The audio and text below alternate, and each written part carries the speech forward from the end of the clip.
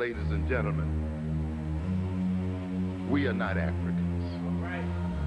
We are possessed by spirits and demons. We have let another people's spirit take possession of our bodies and take possession of our minds. When we speak, it is not with our African voice. It is with the voice of that demonic presence that uses our lips to speak its own language. Yes. Yes, we have to recognize this. We are possessed. And if we are to transform ourselves and to transform that the nature of our relationship with those who are our masters, we must engage in an exorcism and clear the devils out of our minds. And you have to be demonically, we have to be demonically possessed. Because if we talk about black on black violence, self-defeating behavior, self-destructive behavior, then we could not be possessed by a beautiful and wonderful God. We must be possessed by demons. Have a different consciousness from our great slave grandparents. How can we say that? We are still in the same consciousness. And we are still in the same position because we are still servants of the white man. And our reason for being in America is to serve white folks and to generate wealth for them. And there has been no change at all in terms of our relationship to these people.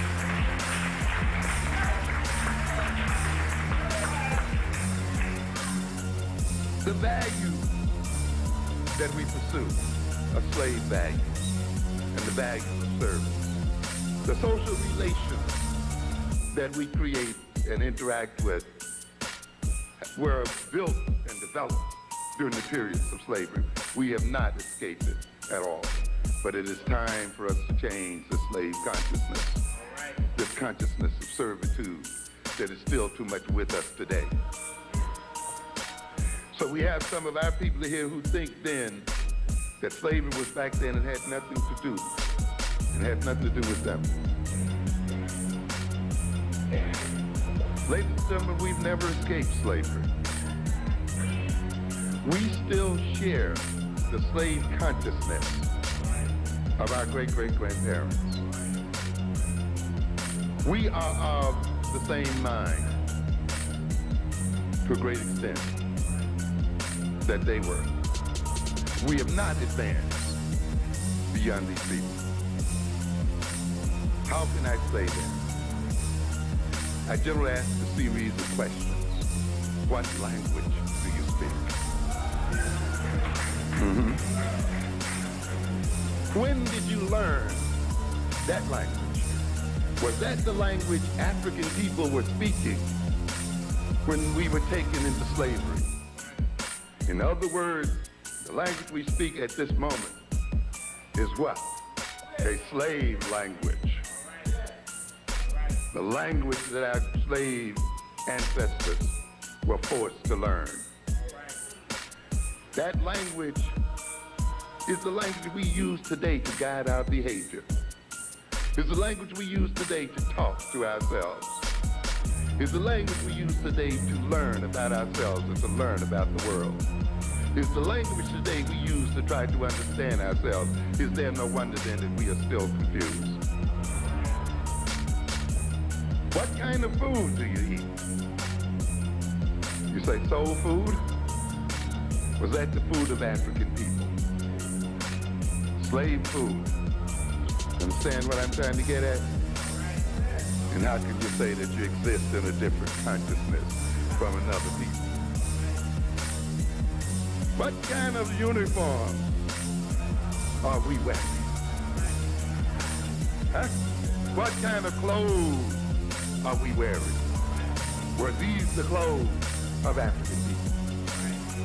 Huh? This is what we got to look at. What is this to say then that we've escaped slavery? What kind of names do we respond to? What kind of names do we identify with? And ultimately, we ask the question that's closest to home for a lot of people. When we claim that we've escaped slavery, and the slavery was something back there which had nothing to do with us today. And then I ask you the question, what kind of God do you worship? What's the name of it? Who taught you to praise him? Was this the God you were praying to before you were brought to these shores? Was this the religion you had before you were brought to these shores? Can you name one African God? How can you then define yourself? The very essence of yourself and the very essence of your soul and organize the very nature of your life here on earth based on a God handed to us by our slave masters, claim that you have no slave consciousness and are not related to slavery.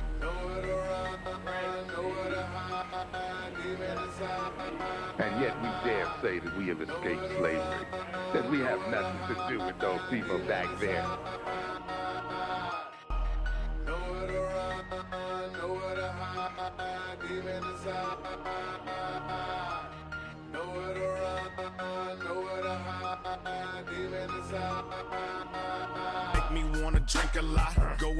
the pink with not. This the reason I ain't at ease and currently on the brink of pop. This the reason I sit at the window with the millie wishing a nigga gon' come break in. It is the reason I be freaking a woman deep in love and making her silly because I done they friend. It is the reason I bang. It is definitely the reason I slang, distributed the cane. The reason I'm super soaking in the pain and starting to love it. It's wanting to give me way more of it. They want me to lug it through the mud and thus the reason with happy people I'm disgusted. I'm talking about those things that make you do bad things. Living the evil up in the fast lane. Making me wanna have a wicked persona beating the hell up out of people making me mad, man. Gave me the gun when I ran up in Dillon's in ninth grade with a slight range. I was ice age. Another reason Nina won't have any light days. Voted me the king of darkness. Voted me to be really heartless. All up in my spirit they march. They making me start sparking at the targets. Woke up today I was steaming. Cause when I found out I was not dreaming. Because the host that influenced me the most was a goddamn demon. Demon, demon. When I was one two and three